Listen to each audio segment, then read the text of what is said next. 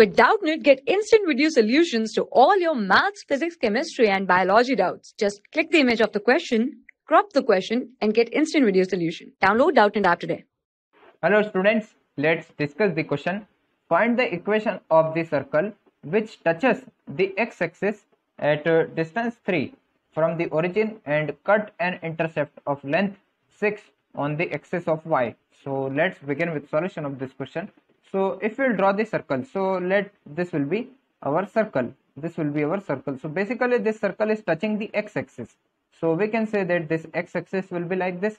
This will be x-axis and if we'll just extend this, so this will be our x-axis. Similarly, this circle is cutting an intercept of 6 length, length 6 on the y-axis. So we will just draw our y-axis. So our y-axis will be like this. That is this intercept. If we will name this point, that is point of intersection this will be let's uh, name this will be a point and uh, let this will be our b point. So basically ab this ab is given as this 6 unit and uh, this distance that is point of tangency let will be c. So basically this if this is origin that is o point. So we can say that this oc length this oc length is given as 3 unit because uh, the circle is touching x-axis at a distance of 3 unit from the origin. So this will be 3 unit. So if we will locate the center of this circle, so let this will be our center. So let this will be C naught that is center. So center C naught that this is our center.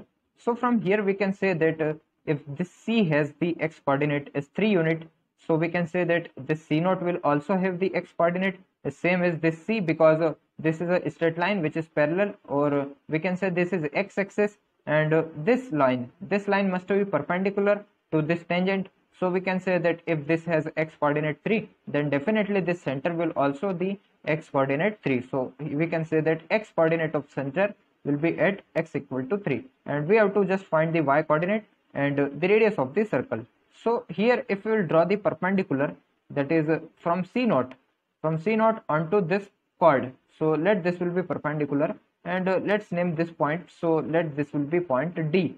So we can say that uh, this bd this bd will be equal to this ab bd will be equal to ab because uh, perpendicular drawn from the center bisect the chord. So this will be the perpendicular and this will definitely bisect.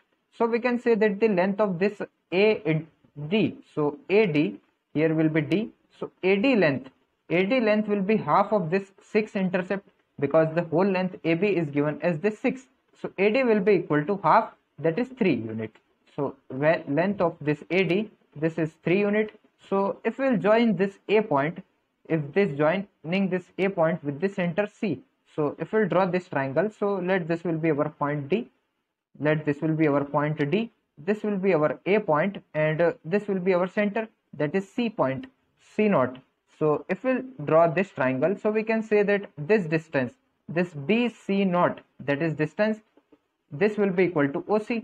DC naught, this is definitely equal to OC, which is equal to 3 units. So this will be 3. Similarly, this AD is already 3. So we can say that the radius of the circle, this will be radius and this will be by using Pythagoras theorem, we can say that R will be equal to root of this AD square plus this CD square, C naught D square. So AD square plus c naught d square. So that will come out to be r equal to root of this 3 square plus 3 square. So that will come out to be 9 plus 9 which is 18 so radius will be come out to be r equal to this 3 root 2 so from here we can say that this distance cc naught cc naught or cc naught distance this will come out to be equal to radius of the circle because this point is point of tangency.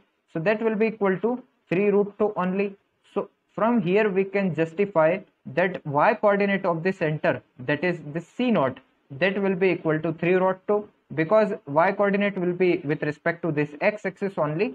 So this will be 3 root 2 so we have our center as 3 comma 3 root 2 and radius as this 3 root 2 so we will just use the standard formula to get the equation of circle that is x minus alpha whole square plus y minus beta whole square equal to r square. This is the standard formula for getting the circle equation with center is alpha comma beta and radius is r. So that will be x minus 3 whole square here. This will be y minus 3 root 2 whole square and that will be equal to r square which is 3 root 2 square so that will come out to be this 3 root 2 square we will just write so here will be 3 root 2 square so if we'll justify we will just open this two brackets so we get this as x square here will be plus this 9 and this will be minus 6x similarly this will be plus y square.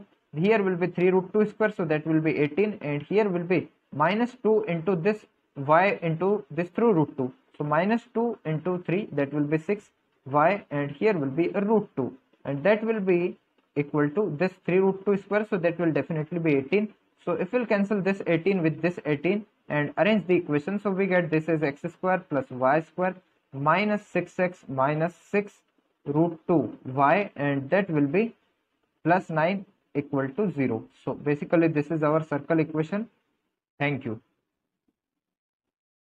For class 6 to 12, IIT JEE and NEET level.